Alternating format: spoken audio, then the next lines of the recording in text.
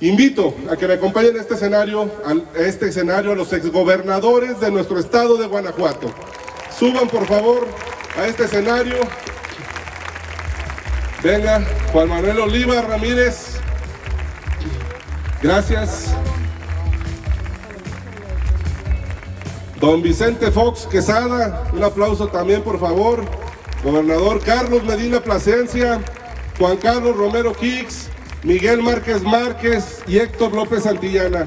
Pásenle, bienvenidos. Miguel, bienvenido. Buscando su lugar. Héctor, bienvenidos.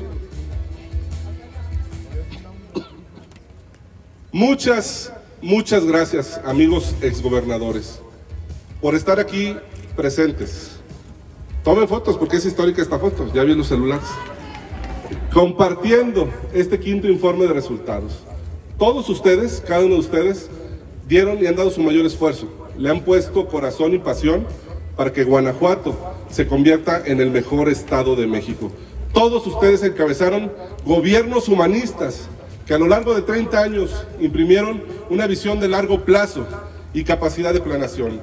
No hay duda Aquí hemos tenido los mejores gobiernos humanistas y de vanguardia del país.